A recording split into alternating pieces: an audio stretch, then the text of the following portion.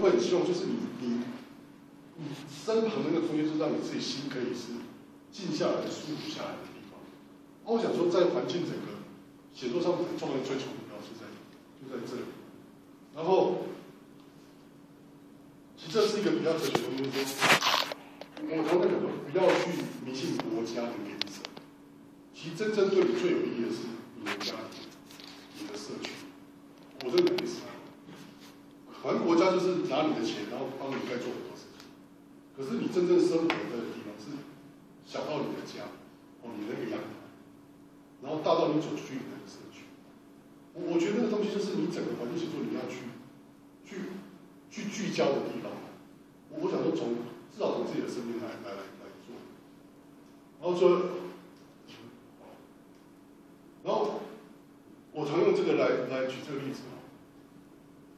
还是那句话，就是说，大家常会觉得说啊，我自己写东西不够力啊，什么，什么，不要去，不要这样想。你看，今天身边几个，其实这边一个我。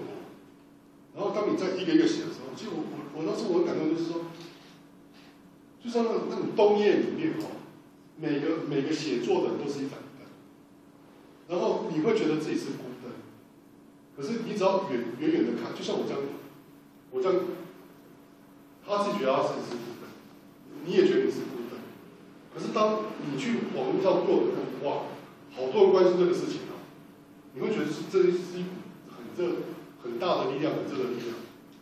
它不会是孤单的，它就是一个整个一个整个一个那种灯火通明，或者是那种串联就开始。你知道那意思吗？其实就像大家每天每个每个都在这个这个里面，当你开始去从事你的环境写作的时候，其实它就是会聚成一个团体。所以这就是说。就就去做的那个那个意义就在这里。哎，我今天大概就讲这样。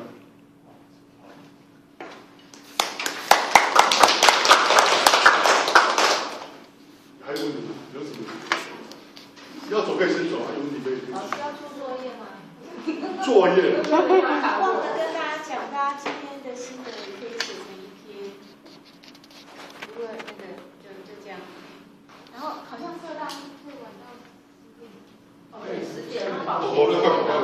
那那个问题存起来，赶快下次问。还有没有填？就除了这个之外，